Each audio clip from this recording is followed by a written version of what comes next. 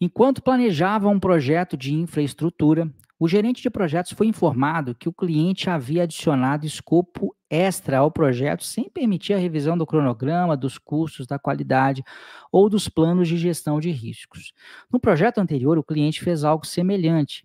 O que o gerente de projetos deve fazer para gerenciar o orçamento e os recursos nesse contexto? Do orçamento dos recursos, mas poderia ser o projeto como um todo também, né? Revisar o plano de gestão de mudanças, essa é uma boa ideia?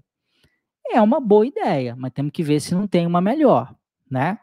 É, e aí a gente tem que tomar cuidado, assim, de, né, é, é, com, com determinadas coisas, porque às vezes a gente e nem foi proposital, tá? Eu ter colocado essa 4 depois da 3 e ela pode ter influenciado vocês de alguma maneira. Porque existem formas, né, de você revisar. Você pode revisar sozinho, você pode revisar acompanhado. Letra B, criar uma declaração de escopo restrita limitando as mudanças.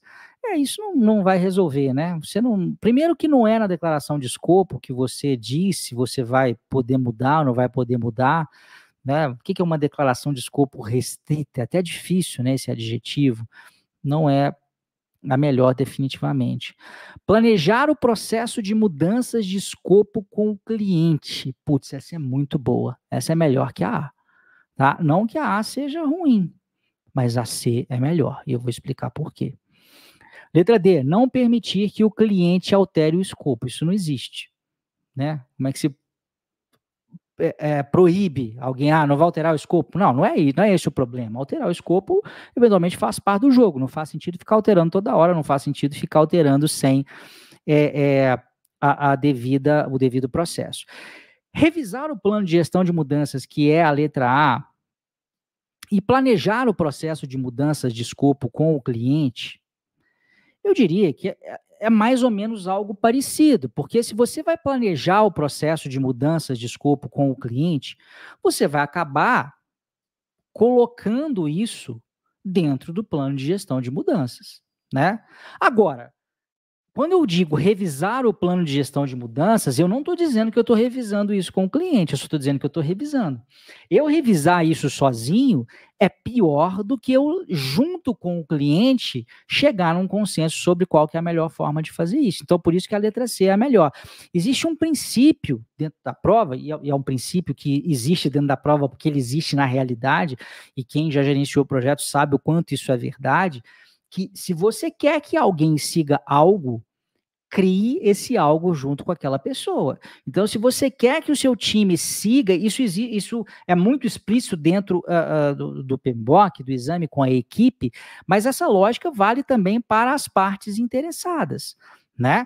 É, é, então, uh, o que que acontece? É, é ao trazer este cliente para definir junto com você, é, é, a forma que aquilo vai acontecer, e claro que ao planejar o processo de mudanças de escopo junto com o cliente, você vai né, atualizar não só o plano de gestão de mudanças, como vários outros planos, de, o plano de gerenciamento de escopo, qualquer outro, outro plano de gerenciamento que seja necessário, né? Não só o plano de gestão de mudança, o plano de gerenciamento da configuração, por exemplo, que tem também é, é, é uma, uma ligação com essa história da mudança, né?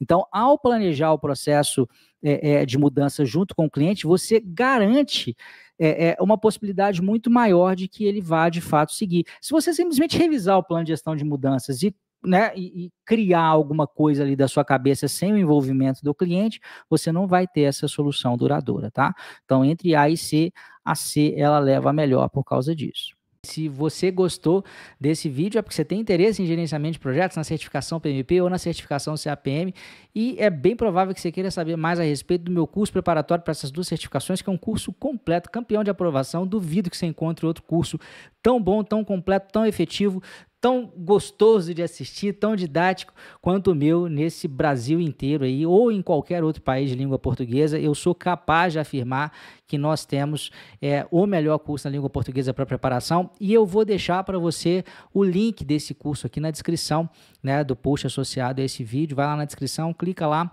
você vai entender exatamente como a gente trabalha e vai poder deixar o seu contato na lista de espera assim que a gente tiver novas vagas, a gente entra em contato com você. Grande abraço e até a próxima. Tchau, tchau.